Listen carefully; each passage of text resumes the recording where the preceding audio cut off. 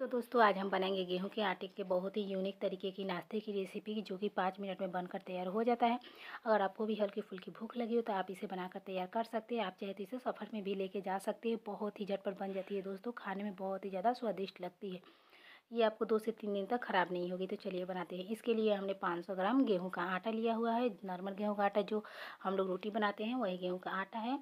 और इसमें हम डालेंगे आधा कप चीनी। तो चीनी आप अपने स्वाद के अनुसार डालिएगा जितना आपको मीठा पसंद हो। और इसमें हम डालेंगे बेकिंग सोडा। तो एक चौथाई चम्मच बेकिंग सोडा लिया हुआ है और इन सारे चीज़ों को हम अच्छे से मिक्स कर लेंगे। तो दोस्तों, आपसे एक छोटी सी रिक्वेस्ट है कि अगर हमारी वीडियो आपको थोड़ी सी भी पसंद है तो प्लीज़ दोस्तों, लाइक, शेयर और सब्सक्राइब कर दीजिएगा और प्यारा सा कमेंट ज़रूर करिएगा कि आपकी रेसिपी कैसी लगी। और अच्छे से मिक्स करने के बाद इसमें हम डालेंगे थोड़ा थोड़ा पानी और इसका एक डो बनाएँगे। तो डो को हमें बनाना है दोस्तों सोमी सेफ्ट सॉफ्ट डो को बनाएँगे, ना ही ज़्यादा हार्ड रहेगा और ना ही ज़्यादा सॉफ्ट रहेगा। तो चलिए, इसे हम थोड़ा थोड़ा पानी डालकर गूँथेंगे। एक साथ बहुत ज़्यादा पानी नहीं डालेंगे, नहीं तो हमारा डो जो है, जो गीला हो जाएगा तो वो अच्छा नहीं बनेगा नाश्ता। तो चलिए दोस्तों, थोड़ा सा और पानी डाल लेते हैं और इसे गूँथ लेते हैं। बहुत ही अच्छे से गूँथना है दोस्तों, सॉफ्ट गूँथना है इसको, ताकि हमारा नाश्ता बहुत बढ़िया बने। तो ये देखिए दोस्तों, हमने गूँथ लिया हुआ है इसे, और इसे अच्छे से हम चिकना कर देते हैं।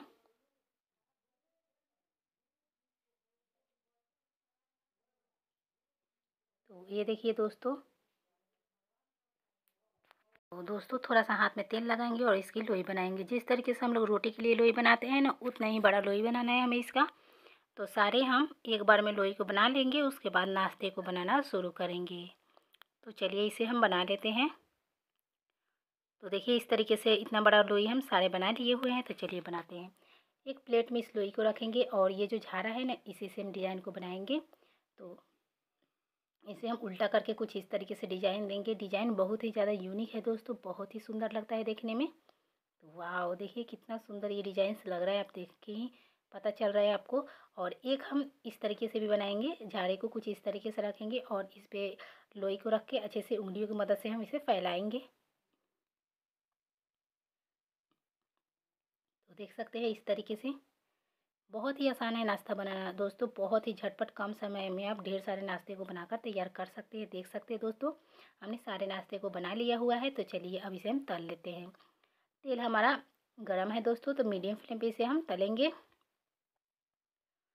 तो एक बार में जितना कढ़ाई में आप डाल सकते हैं, क्योंकि इसमें चिपकने का कोई भी झंझट नहीं है।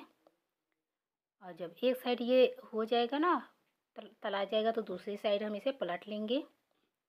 और उलटते पलटते हुए अच्छा गोल्डन कलर कलर आने तक इसे हम तलेंगे। तो देख सकते हैं दोस्तों, इस तरीके से बनाएँगे इसे।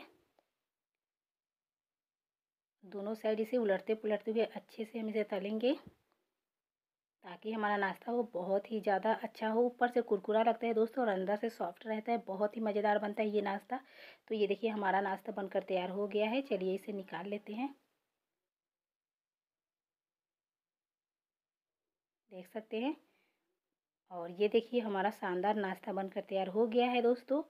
आप इसे सफ़र के लिए भी ले जा सकते हैं या बना करके जब भी जी चाहे आप खा सकते हैं, क्योंकि ये बहुत ही स्वादिष्ट लगता है खाने में। अगर अचानक मेहमान आ जाए तो भी आप बनाकर सर्व कर सकते हैं दोस्तों। तो दोस्तों इसे एंजॉय करिए। धन्यवाद। फिर मिलते हैं एक नई वीडियो